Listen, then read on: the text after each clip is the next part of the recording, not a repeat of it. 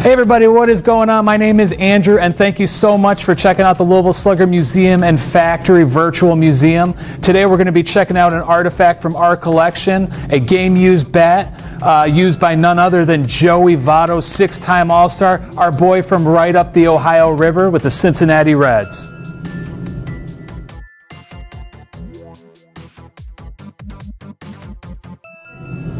So yeah, let's dive right into this awesome bat. So you can tell right here, this is an M356 bat. Uh, that means it was designed by Edgar Martinez. So Joey Votto used this bat in 2012. So this is uh, this bat is 34 inches in length and it weighs 30.5 ounces. Now one of the interesting things, Joey is a little bit more of a traditionalist. Uh, this is an ash bat, whereas a, a large majority of players in the majors are using maple bats. So he's kind of goes that traditional route, which is a fantastic thing. He hones in on that tradition.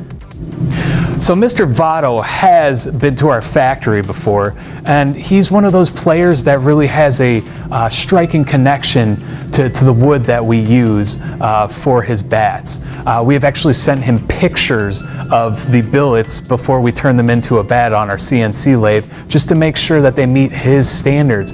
So he is a guy that is very, very connected to his bat, and it shows with how great of a batter he is. Another legendary player who had that connection to the whole process, the wood that was used, was Mr. Ted Williams.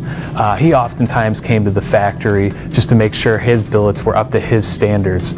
So uh, you'll notice when you enter into our factory, uh, you'll see on, on a wall a giant image of Ted Williams on one side and Joey Votto on the other. And it's just kind of our salute to them for the love and care that they show each one of their bats.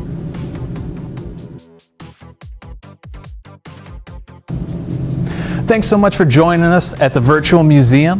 Uh, we look forward to seeing you at the Big Bat and coming in here and getting your hands on this Joey Votto Game Used Bat.